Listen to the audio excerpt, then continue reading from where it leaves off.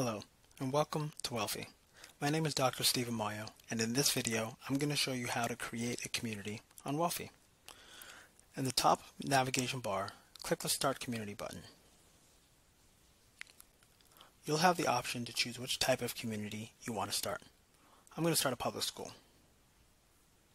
Click Continue. Name your school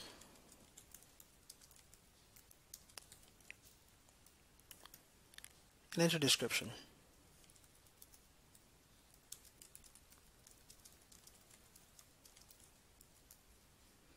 You can enter your website, as well as a phone number will be necessary so we can contact you and verify your identity. At the bottom here, you can choose the size of your community. So whether you're a school district, school, or even a classroom, there's an option for you.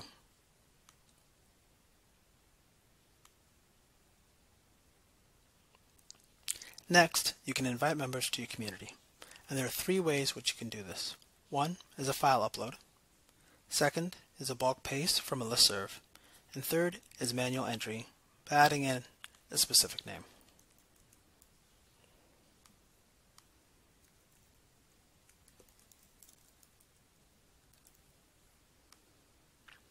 You can choose the type of relationship or role that each person you invite to your community can have. I'm going to choose student. And you can send that invite out. As a community leader, you can track your community by the left navigation bar and clicking My Community. You'll see here that John Doe was invited to the community.